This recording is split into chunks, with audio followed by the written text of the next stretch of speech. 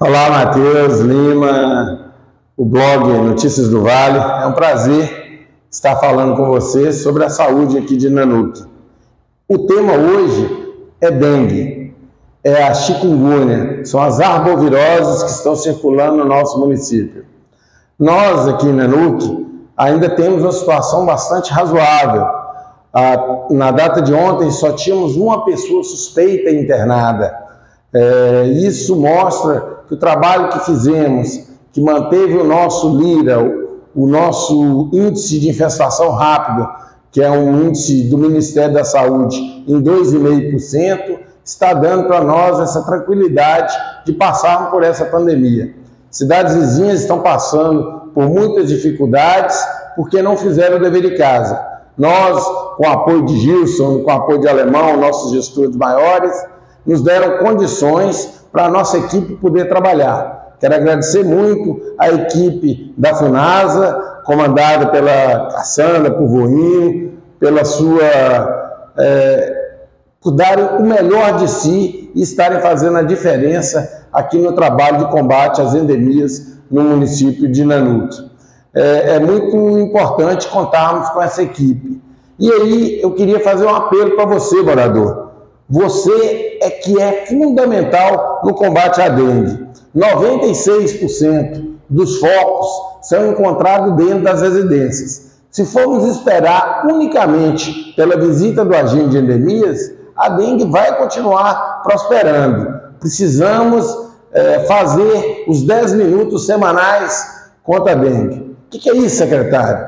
Isso é você, 10 minutos, pelo menos uma vez por semana, dar uma rodada no seu imóvel, nas imediações do seu imóvel e verificar se aqueles locais, como ralos, vasos de plantas, calhas, quintais, se não tem qualquer recipiente que tenha água parada.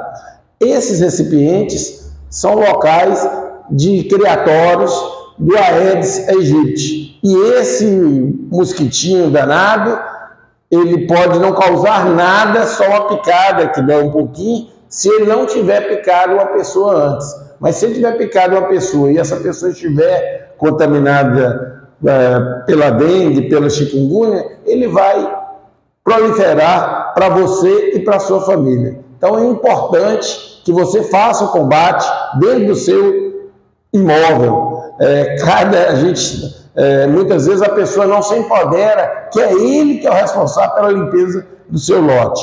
Um lote cheio de mato, ele é um vetor de. é um local, um criadouro ali de animais peçonhentos, de ratos que transmitem várias doenças.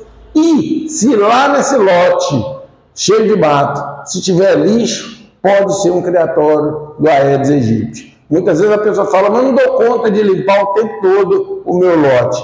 Pelo menos faça a fiscalização, retire o lixo, é, coloque ele na via pública no horário que o veículo está passando, porque também não adianta você colocar lixo lá para ele ficar na via pública durante dias, porque ali também pode ter o criatório.